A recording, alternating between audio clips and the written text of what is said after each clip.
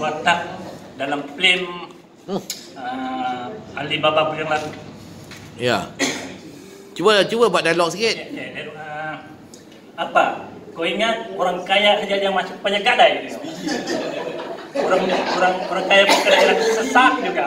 Wah. Orang kaya pun sesak juga eh.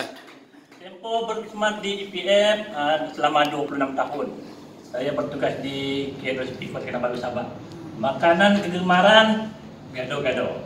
Hobi santai-santai aja. Santai-santai ya. Okey, terima kasih. Terima kasih, terima kasih Sudin.